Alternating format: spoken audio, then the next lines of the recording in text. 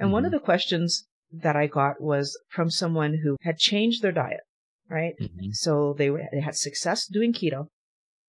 And the doctor said that their blood pressure had gone up. But they didn't feel comfortable to tell the doctor that they, they're doing keto. Did doing keto make their blood pressure go up? Now, when it comes to blood pressure, um, a lot of people think about salt.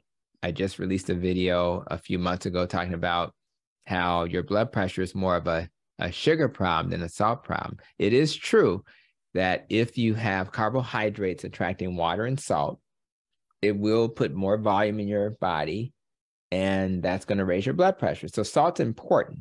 But what they forget in traditional medicine is that if I have, if I eat foods that are high in sugar, that's going to lead to hyperinsulinemia.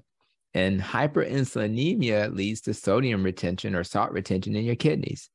So even if you restrict salt, if you consume a lot of starchy foods that lead to high insulin, you're still going to end up with high blood pressure. So, it, so the root cause, as you know very well, Violet, is inflammation caused from the wrong diet, leading to hyperinsulinemia. And not only are you getting more sodium retention, you're going to have this, you know, endothelial cell dysfunction.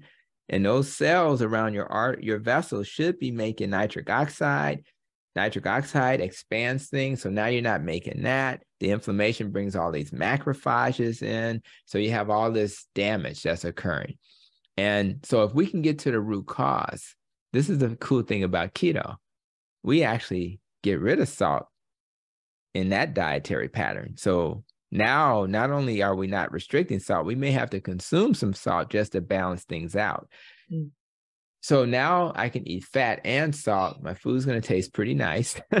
and and I'm also able to improve my blood pressure by focusing on sugar instead of salt. So short answer, keto is good for your blood pressure, it's good for your cholesterol, and people who are doing that dietary pattern should not fear that, particularly since the American Heart Association, American Diabetes Association, and the Association of Clinical Endocrinology all endorse a lower carb diet, which leads us to keto. So we don't have to. Now, a few years ago, we were outliers. They were like, what's wrong with Violet and Dr. Hampton? What are they saying?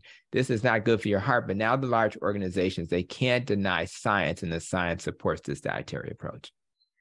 But the blood pressure going up, could be an issue, or maybe my interpretation is it could be that because you're doing keto, but maybe maybe sometimes your numbers are too high, that so you're not really in a ketogenic state. So you yeah. would still have weight loss, obviously, because you're doing better yeah. than standard American diet. Because the person says I had success on keto, so you might, but maybe you just didn't. You're not in keto long enough, or for you to yeah. get the full impact.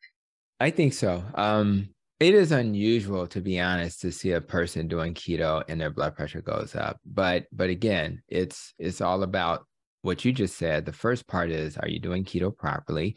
Uh, there are levels to this. Technically 50 or less is technically um, an opportunity to be in ketosis but the success rate at that level is only probably in the 60 to 70% range in terms of being in true keto. Everybody's different. If I have a, a person who's more athletic and doing other stuff, they're probably going to have an easier time than others.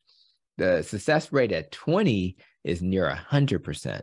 If you're following, like if you go to a Dr. Eric Westman at Duke who does research, it's nearly a 100% success rate if you're less than 20. That's why a lot of clinicians tend to lean towards that number when they're doing therapeutic carb restriction, which is like prescription dose uh, keto, right? So I would to heal. So I mentioned the blood vessels and nitric oxide. In order for those endothelial cells to heal after years of eating a diet that causes inflammation, it sometimes takes time. So I would give it more time, and I would make sure that number is low uh, in terms of total carbs. And it's very unlikely that that's to um, uh, not yield success. Having said that, I have a NEST acronym nutrition, exercise, less stress, more sleep, how we think, recovering from trauma as the nest. Maybe you need to also look at those other aspects of your life, which is why I think broader. So maybe I need to start adding the optimizing of my sleep to the equation. Because if I don't get enough sleep, as an example, when you look at research, you get you get like four or five hours of sleep. Your next day, your for 12 hours, your pressure is going to be higher.